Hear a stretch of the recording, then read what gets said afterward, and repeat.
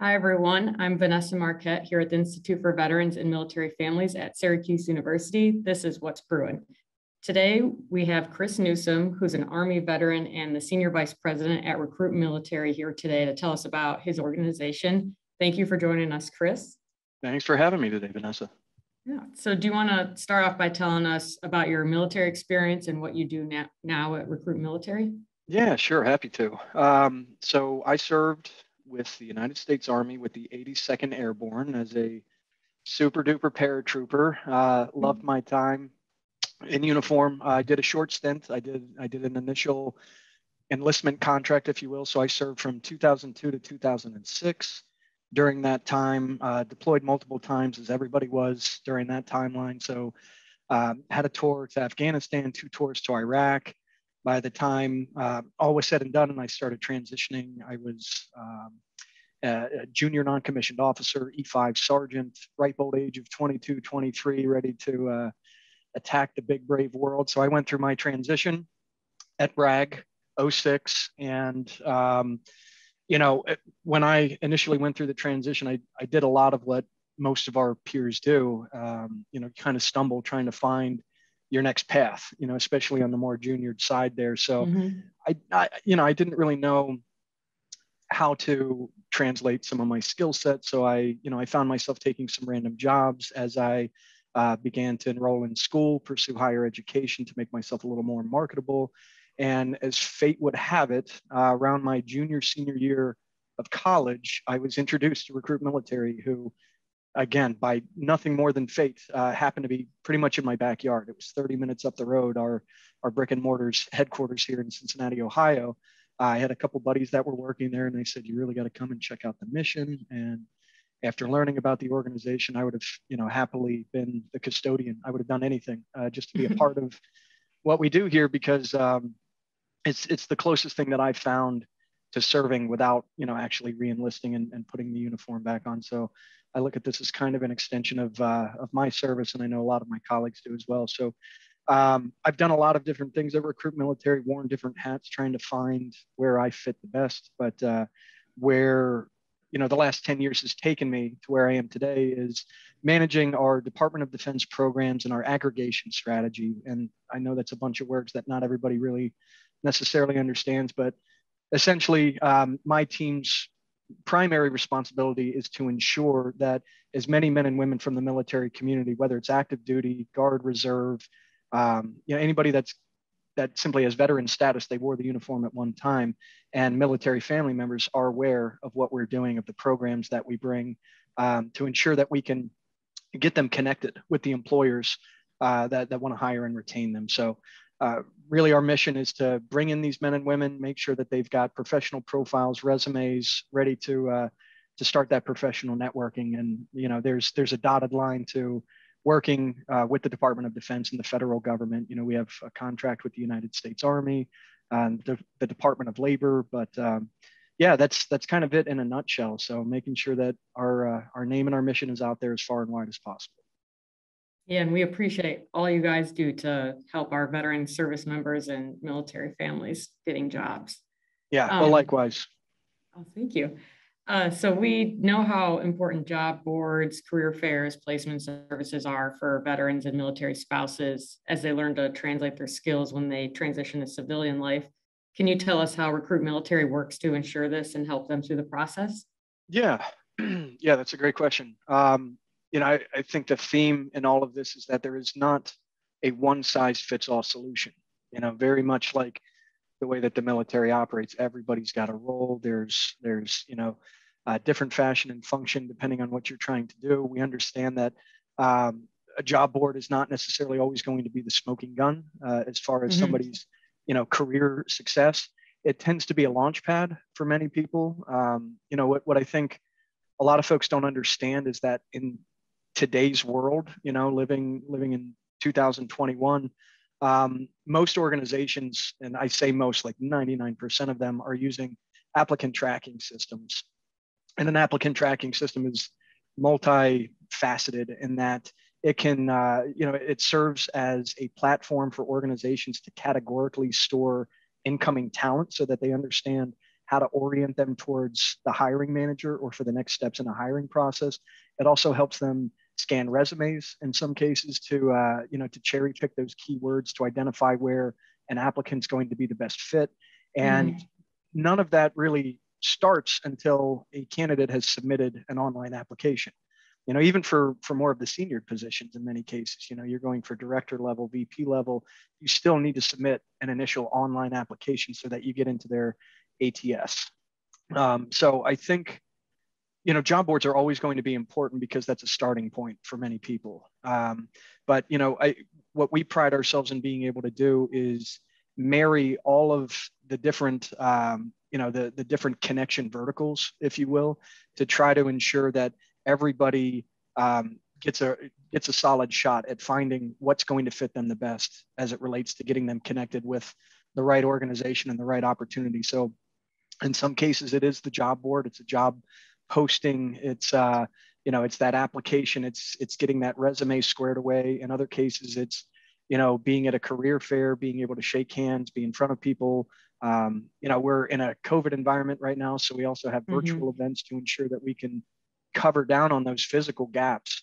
um, and then placement services you know that's more of the niche side of of the recruiting uh, you know arm that we have where the organization will come to us with a very, very specific need and essentially say, we can't find this particular individual at a career fair or on a job board as of yet. You know, very elusive. So that's where our recruiting team goes to work and um, and leverages not only our own job board and proprietary platforms, but also goes out there to their own networks uh, to to ensure that we can find an A plus candidate or a series of A plus candidates to submit for consideration. So you know, it's usually one of those three verticals, but in some cases, it's a culmination of all of them, you know, by virtue of coming into Recruit Military's ecosystem via our job board, it gives you access to all of those things. It gives you access to not just the hundreds of thousands of, you know, open opportunities that are out there from companies specifically looking for military talent, but it also plugs you into our event management system so that we can acknowledge where you are, send you recommendations for upcoming events, virtual, physical, um, and then, you know, your professional profile and resume are in there as well. And that uh, triggers our recruiters when they have a job requisition where, you know, you might be the right fit. Again, using those those keywords, pulling from the resume and profile,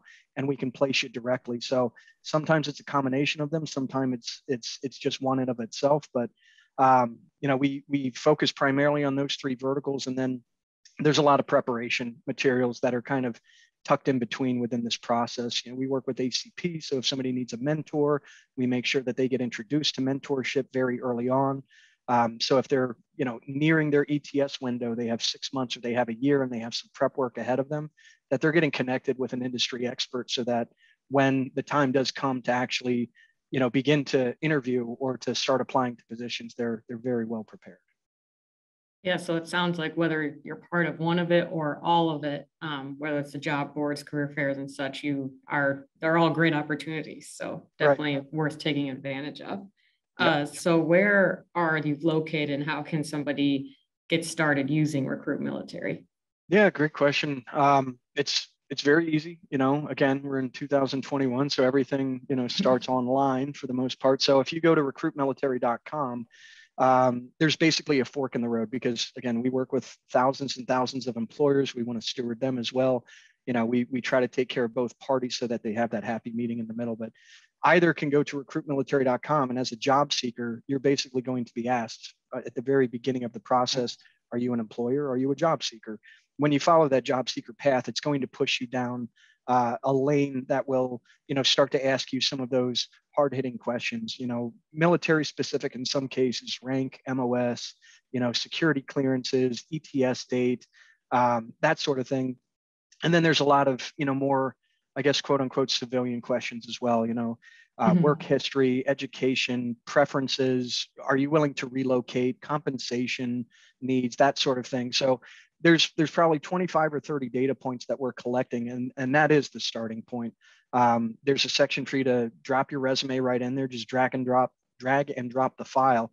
Um, but for some individuals that may not have the resume yet we know that you know that's that's a work in progress sometimes lifelong in some cases. We do have a resume generation tool where if you can complete your profile, um, basically this generation tool will cherry pick key content and data from your profile and and produce a, uh, a, a two-page resume. So everything really starts there. The process is probably 10 to 15 minutes. You know, a lot of it's contingent on how mm-hmm. long did you serve, how many different MOSs did you have. You know, for me, somebody that served four years, my profile is, I'm going to zip through it a little bit quicker than somebody that maybe did 20 or 20 plus years because mm-hmm. they had so many different positions along the way. So um, just starting there is is really the launch pad again into everything. You're going to be recommended jobs. You're going to be recommended career fairs. You're going to be considered for our placement services as well, assuming your profile aligns with those open recs. So recruitmilitary.com. That's the easiest place to start. Perfect. Um, and so many who are watching may know that our Onward to Opportunity program also helps veterans and military spouses, transitioning service members um, get into careers and it pairs well with what you do at Recruit Military. So, Chris, I know you're in the program now out of Fort Drum. Can you tell us about your experience and all, and everything you're going through with that? Yeah, absolutely. So, you know, we're uh, we're partners in crime here. We love everything that O2O does, and we want to, you know, champion and, and, sing it from the rooftops when and where we can. Um, you know, you guys have phenomenal certification programs where even as a veteran, you know, I was surprised I was able to take advantage of it. You know, I've I ETSed about 15 years ago at this point, not to date myself, um, but you know, to, for for somebody that's going through the transition right now, or even somebody that's a veteran, that um, you know, you're naturally marketable. You have soft skills and intangibles, but um, if you want to take it a step further, make yourself just a little more marketable or stand out as a champion amongst you know the the crowd, if you will. Um, O2O's got phenomenal programs, so I'm I'm particularly pursuing PMP, uh, my project management professional certification. So I've uh, I've completed the curriculum at this point. I, I, I look at it as I've done about half the work. You know, I, I still have a lot of work ahead of me as far as preparation goes, but so much of what I do in my line of work right now. And truly, I think it's applicable to just about any profession, whether you're in IT or you're managing a team or, you know, if you're in any kind of project-based environment, um, you know, bias, you know, I, I, I think PMP is a phenomenal certification to have. So that's what I'm going for. I've got to do a little bit more prep work. I have to take some test exams and, you know, do a lot of dry runs and review flashcards. But um, you know, I, I look at the PMP certification as being hyper important to me in particular because, you know, everything that we're doing on the DoD side and the federal government side is there's a start, there's a middle, there's an end, and a ton of work in between all of those phases. So um, I naturally do project management as it is, but I don't consider myself to be an expert at project management. So,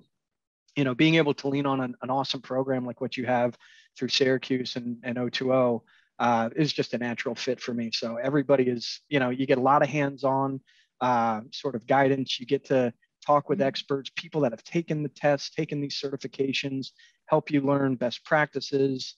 Um, so I, yeah, it's it's been a phenomenal experience so far, and I highly recommend anybody that is looking to kind of upskill or make yourself a little bit more marketable, spit shine that resume, put that extra layer of value on there. You know, look into O2O and the various certification programs that they have because it's a, it's a game changer. Oh, thank you. Yeah, and the PMP track is definitely one of the most popular ones we have. So understand. Tricky too. Not easy. Not easy. I don't yeah. want to fool anybody. It's not the easiest one out there. The, the concepts are simple, but the uh, terminology and the nuances are are uh, intense sometimes, but in a good way. So I, I love a good challenge. So yeah, PMP is an awesome route to go. Definitely. And when you mentioned going through other programs, that made me think, what is some advice you'd give someone for networking and making themselves more marketable, um, in addition to going through recruit military or programs like O2O? Yeah, um, you know, I'd say low hanging fruit is is always making sure that you're you're working LinkedIn. If you don't have a LinkedIn profile, yeah. and I know that for many that might be watching that are active duty right now, maybe they're not transitioning right at this moment, but will be in the near future. And they've heard about LinkedIn, but they're not really 100% sure what it is, um, I highly recommend getting into LinkedIn, creating your profile there, and, and networking via that platform because there are no geographic boundaries. You can identify professionals in very particular um, industries, or you know, if if you really wanted to yeah, I'm going to throw out a random example. If you really wanted to work for Mm-hmm. Amazon, you know, and you're going back to, you know, Dallas, Texas, you know, uh, you can you can use LinkedIn to identify recruiting teams for Amazon in Dallas, Texas, if that if that was you know the route that you were going to take. So um, I highly recommend using it and not being passive with it either. You know, you can sit there and you can like and uh, you know share content, but engage, comment. You know, share Mhm. your perspective, share your experiences. LinkedIn is an awesome platform to kind of show your your subject matter expertise in some cases. So uh, if you think for a second that you're going to put in a job application and that recruiter or that hiring manager is not going to look for you on LinkedIn, you're wrong. They, that's one of the first things that they'll do. So I would say that's probably the easiest thing to throw out there to recommend as far as networking goes. And then don't just be open minded to saying yes as often as you can when there's a networking opportunity.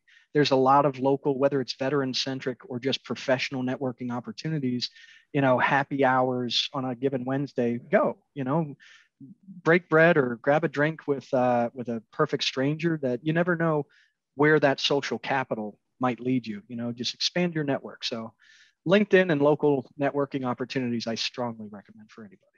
Yeah, and definitely don't be afraid to throw yourself out there and introduce yourself to new Yeah. people. You got to be Um, vulnerable. It's a little uncomfortable sometimes, but it's like doing push-ups. The only way to get better at push-ups go. is more push-ups. So get out. there. I, I was terrified of you know speaking in front of a crowd before I came to work at this company, but you don't have a choice sometimes. So um, yeah, just put yourself out there. there. There's there's no harm. No nothing bad will come as a result. Mhm. Well, thank you so much for taking time to talk with me today about Recruit Military. And I think you mentioned earlier the best place to learn more is at recruitmilitary.com. Yeah, that's right. Recruitmilitary.com. Start your professional profile right there, and we will be in touch. You know, we will get a hold of you. Awesome. Thank you so much, Chris. Thank you, Vanessa. I really appreciate you having me on.